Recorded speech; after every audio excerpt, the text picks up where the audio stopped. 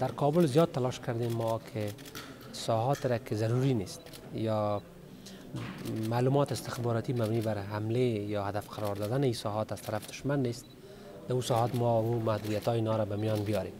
اما بخش عمده از تدابیر امنیتی است و ما نیاز داریم که تا یک زمان نامعلوم از این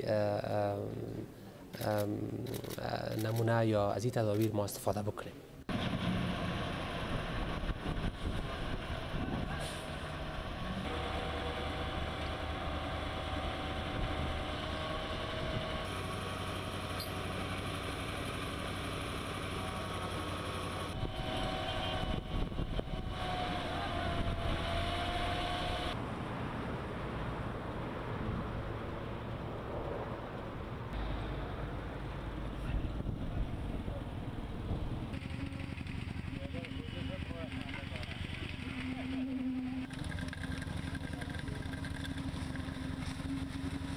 زمانی که وضعیت بحرانی میشه همه روزانه های امنیتی محتاج یک پناهگاه هستند و او پناهگاه را در جستجوی سنگ میافند و یا موانع که پیرداراشان محفوظ اجالتا از انتحاری و مثلا انفجار گپا نجات پیدا کنند. به همون خاطر است که دفتا مراجعه می‌کنند ما باور ما میشه که فروش شروع شد و یا تولید هم.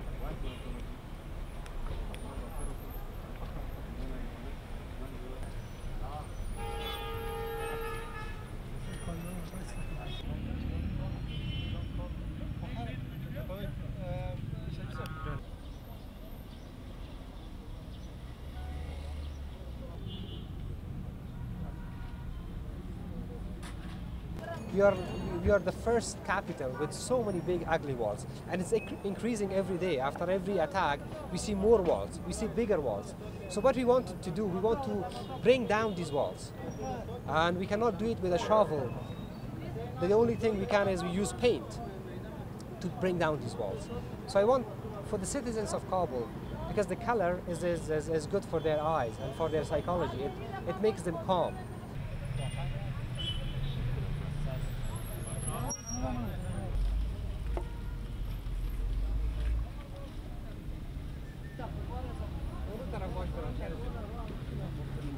وقتی که می‌بینی دیوارهای امنیتی ایجاد شده شهر زیبایی شهر کابل گرفته. او را تبدیل کرده به یک زندان تبدیل کرده به یک حصار جنگی قلعه جنگی که از او حس می‌کنه که فقط اینجا جنگ است و نبرد است و خونریزی است و دهشت و وحشت است. در شهری هستیم که هر طرف ما سنگ گرفته شده. فقط مثل زندان واره. هر شهروند همین احساس شاید داشته باشه که در مثل یک زندان. اگرچه این شهر شهر کابل پایتخت ماست. این باید بسیار زیبا و مقبول و از این سنگا بیخی استفاده نمیجون